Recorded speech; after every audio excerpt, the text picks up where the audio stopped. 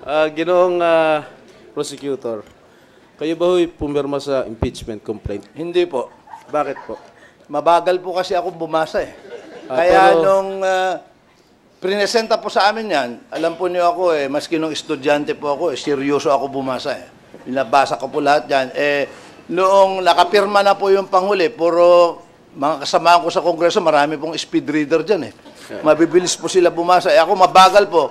Eh dahil sobra-sobra naman po yung pumirma na, isang daan at walumput-walo, hindi naman po kailangan yung pirma ko. At saka medyo masama rin po kasi yung pagkagawa ng kunti.